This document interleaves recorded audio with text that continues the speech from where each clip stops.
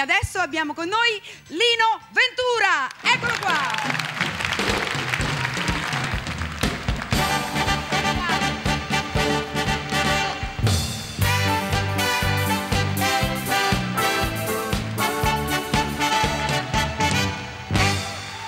Buonasera. Buonasera. Buonasera.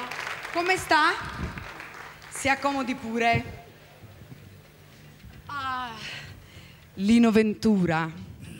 Senta un po'. Dica. Lei è famosissimo anche qui in Italia, ma in tutto il mondo. E si dice di lei attore francese, francese, francese. Ma insomma, francese mica tanto. No, io sono italiano. Ecco, lei si sente più francese, più italiano o più parmigiano? Parmigiano. Parmigiano? Perché fa bene. Senta, ehm, grazie mille. Eh, quando è partito da Parma? Che ricordi ha di Parma? Ricordi da bambino perché io sono un figlio di emigrante e, e sono stato a Parma fino all'età di, diciamo, di 8 anni, 7-8 anni. Ma però ci ritorno sempre perché ho, diciamo che ho bisogno di tanto in tanto di una buona iniezione di capelletti, di culatello e di lambrusco.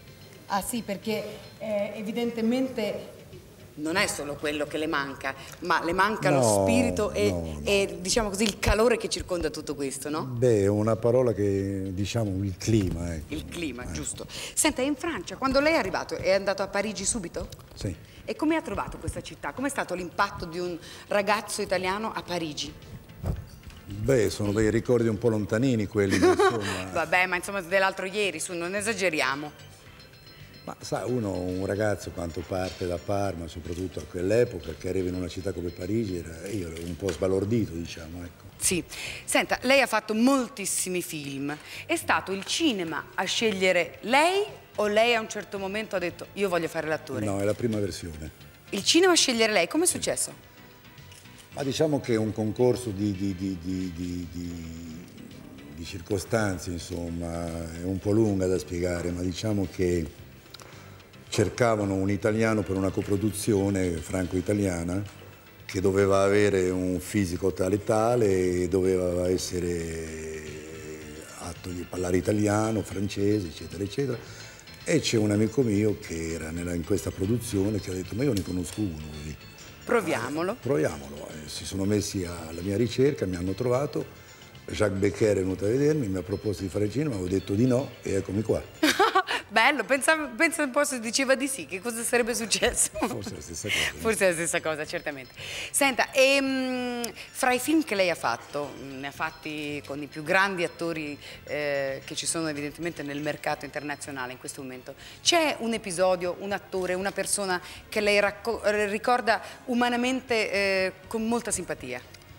Beh sì, Jean Gabin, Jean Gabin. sì. Era un uomo adorabile com'era? Sì, era tutta una, diciamo, una leggenda attorno a lui, perché insomma io me lo ricordo perché ho fatto il mio primo film con lui, non è vero? Poi eh, siamo diventati molti amici, insomma, era un, un po' il mio protettore, se vuole. E evidentemente era, era circondato da questa leggenda di uomo un po' orso, un po' così, ma era semplicemente della timidità e del pudore. Certamente. Senta, lei ha sempre fatto ruoli di uomo duro, ma dal cuore tenero e anche un po' melanconico. Nella vita com'è? Ma questo Spiritosissimo, dovrebbe- probabilmente. Dovrebbe chiederlo agli altri, ma non a me, io non lo so come sono. Il suo matrimonio ha resistito, per, anzi resisterà anche per moltissimi anni, eh, perché sua moglie è, mh, diciamo così, generosa o perché lei è un bravo uomo di casa anche? Mi guarda.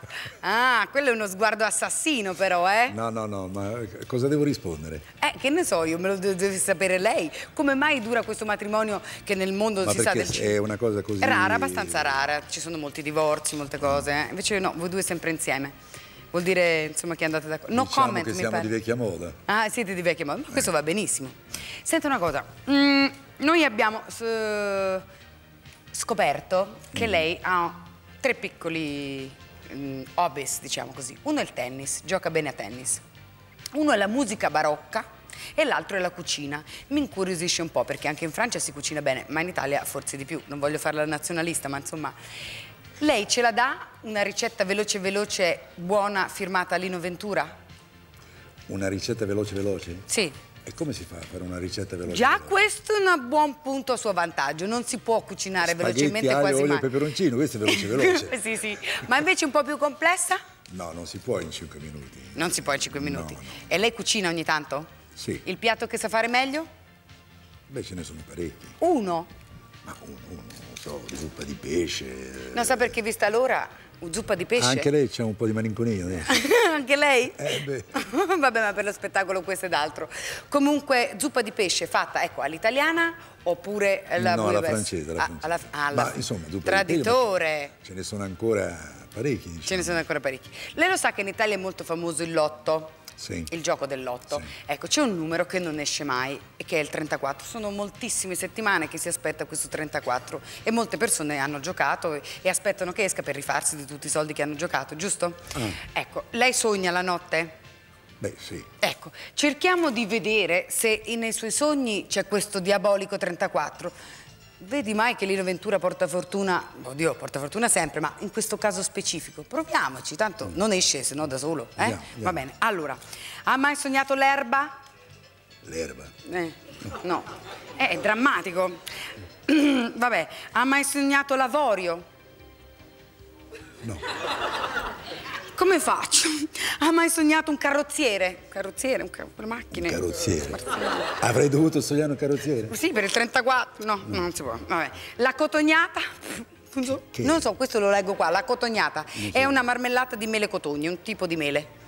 No. Non ci pensa neppure. Ma le, le catene, ecco, tanti film gangster. Le catene? Catene, le ha sognate. Le ha sognate le catene? Allora esce il 34? Magari. Ci proviamo? Andiamo. Vabbè, andiamo a giocare anche noi due, non subito, ma insomma. Va bene. Lino Ventura dice che sabato prossimo esce il 34, ha sognato le catene. E guai se non esce allora. Va bene, vediamo di sfidare la sorte. La ringrazio molto. Grazie E- a lei. No, no, adesso le voglio offrire un, un goccino di spumante. Lo vuole? Ah, ecco, volentieri. ben fresco, mentre ci prepariamo ad ascoltare Patti Bravo, questa grande cantante italiana che anche in Francia ha avuto un grandissimo Sì, successo. Dicevano bravo, bravo, è vero, bravo, bravo. Va bene? Allora, ecco di nuovo Patti Bravo con la sorpresa che ci ha promesso prima.